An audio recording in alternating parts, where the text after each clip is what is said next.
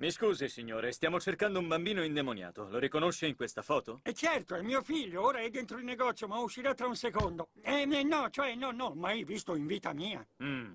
Che ha detto poco fa? Oh, e dicevo che il bambino della foto è mio figlio, viaggia con noi, fa parte della nostra famiglia. Stiamo fuggendo dai poliziotti come lei. Eh, no, cioè, stavo solo notando, ma tu guarda quanto è bella la sua cravatta. Grazie, adoro questa cravatta.